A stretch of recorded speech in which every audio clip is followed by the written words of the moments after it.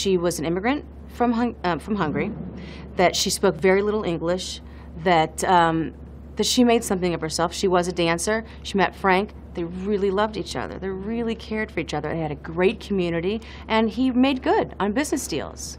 You know, there was nothing really creepy about him or anything like that. They were, they were a really solid couple.